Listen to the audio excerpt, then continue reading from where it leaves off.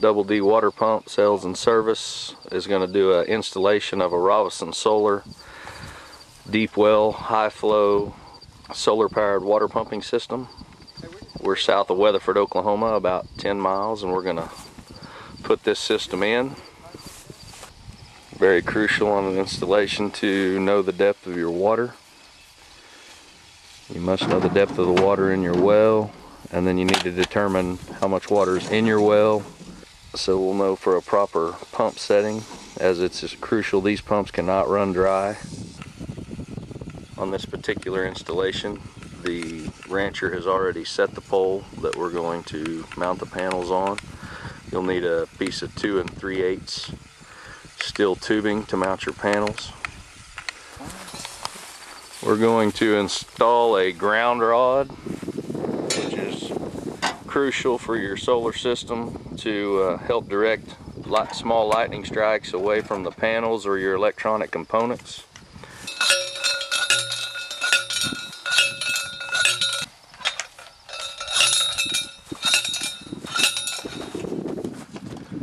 It's imperative when you're putting in a ground rod that you get as deep into the soil as possible, hopefully making contact with moisture below the ground level a clamp and some copper wire will be attached to that. We started with an 8 foot copper rod. Now unboxing the pump. On this particular application we've already placed the wire, made the underwater splice and placed the wire on the pump in the shop. Uh, we will be making another video to instruct you on how to make a proper underwater splice. But for this installation, that's already been taken care of.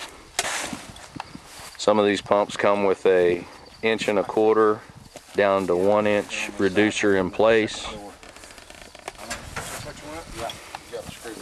We just screwed the reducer in and we're going to tighten it up.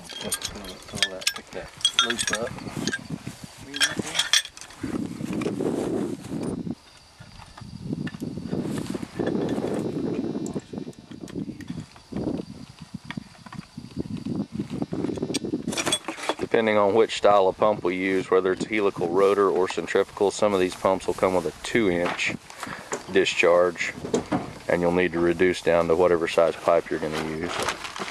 We have our roll of one inch black roll poly pipe. We're going to install our one inch male hose barb adapter galvanized so that we can attach our one inch black roll poly pipe directly to the pump. It's important to know your casing size on this installation today. we are going into a 5 inch PVC well casing. You must know the inside diameter of your casing.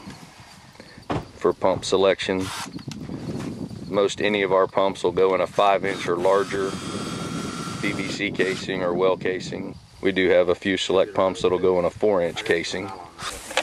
Hey, um but you got to roll it like this. Okay? Yeah, otherwise you'll never win. Unrolling the one inch black roll poly pipe. I've already attached it to the pump via the male hose barb adapter and use some stainless steel clamps to uh, tighten it to it. Now we're going to roll out the wire.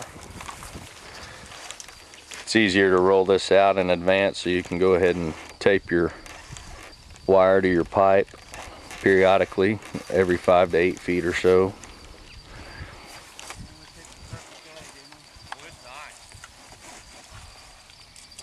For protection, it's best to attach a safety rope of some type. We're going to use a quarter inch nylon similar to a ski rope and attach it and we'll tape it with our wire to our pipe ever so often might take a moment to mention what comes included in a Robison deep well high flow solar powered water pumping system. We provide the pump, the solar panels that you'll need, the aluminum mounting hardware for the modules. You will need to provide the rope, the pipe, various plumbing fittings, uh, your well cap, and your pole to mount your panel on.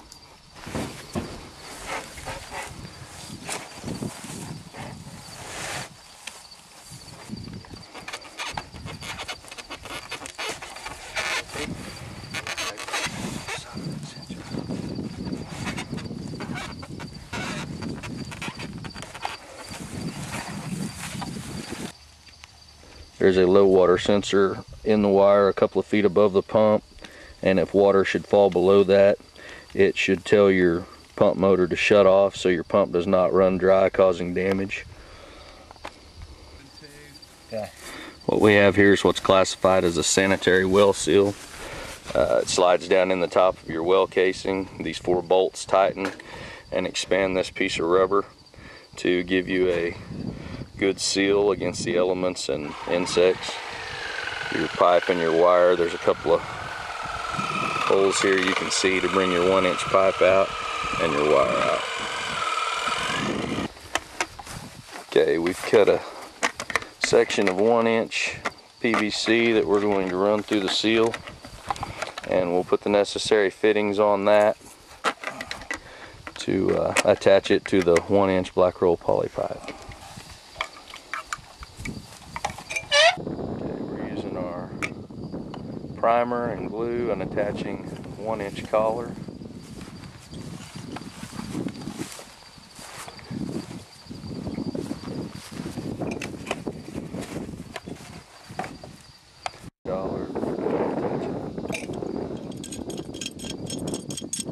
Collar. On the bottom here for the downhole side.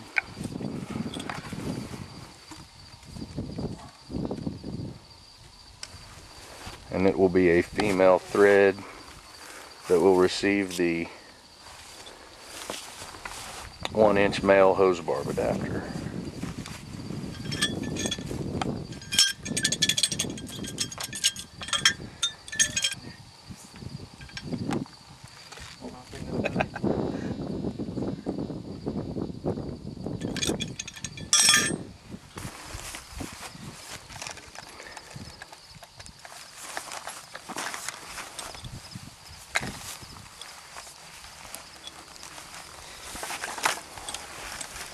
Okay, we've attached the one inch black roll poly pipe.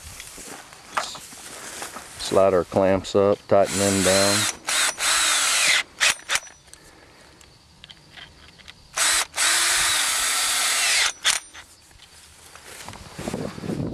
Running our wire through the top of our well seal.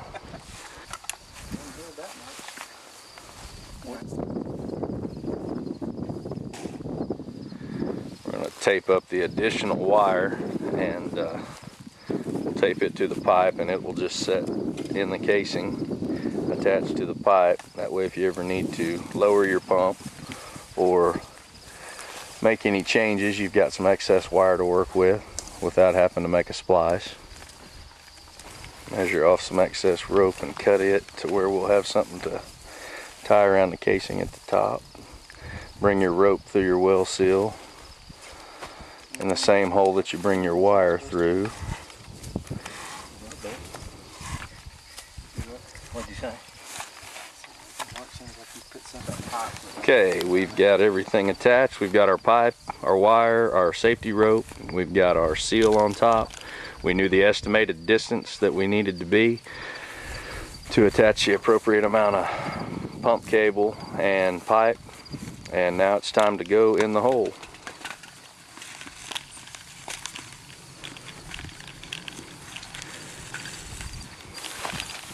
Oftentimes you can hear when the pump hits water.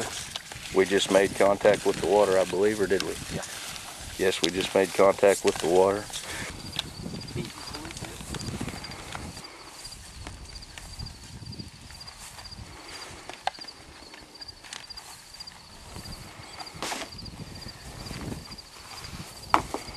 Get everything aligned.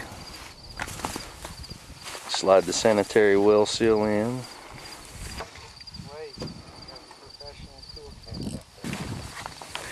It's imperative that if you'll be using these systems in uh, freezing weather applications that you install a weep hole in the drop pipe approximately three to five feet below the ground level or somewhere into below frost level wherever you're at in your location. Now we're going to tighten down the well seal since we put our weep hole in and we believe we're complete with our below ground installation.